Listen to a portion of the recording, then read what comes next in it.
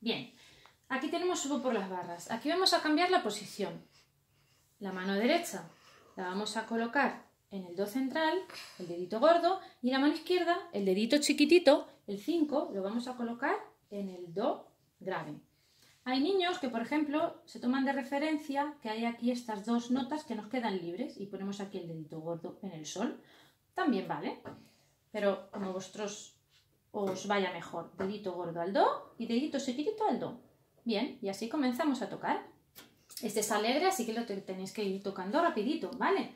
El objetivo es tocarlo un poquito rapidito.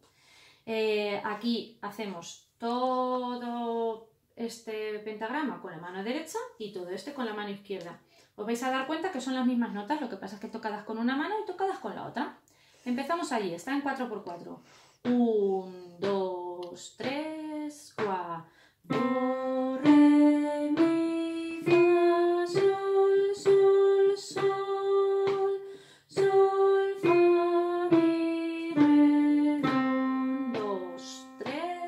3, 4. Mano izquierda.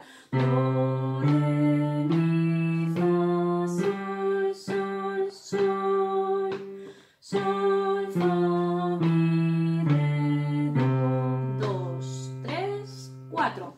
Ojo, cuidado con medir bien. Está redonda, tenéis que contar esos cuatro tiempos.